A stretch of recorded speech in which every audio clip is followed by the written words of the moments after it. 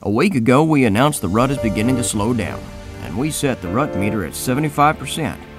This week, it's staying put, and for good reason. No, every deer in the woods isn't going crazy with rut fever, but there still is plenty of rut activity happening across whitetail country. Does are being bred, and bucks are still acting ruddy. As we mentioned in our last report, it's a matter of math. Study after study indicates that some does come into estrus a month or so later than others. That's what we're seeing right now. The yearling does that are just experiencing the first estrus, and then there's those assorted stragglers that have yet to conceive. Reports of rutting bucks are still coming in on a regular basis, but rut over reports are beginning to show up more often than we can say. Last weekend we hunted our New York hunting properties and saw a little bit of everything. Plenty of fawns and does feeding together with the occasional buck thrown in for good measure.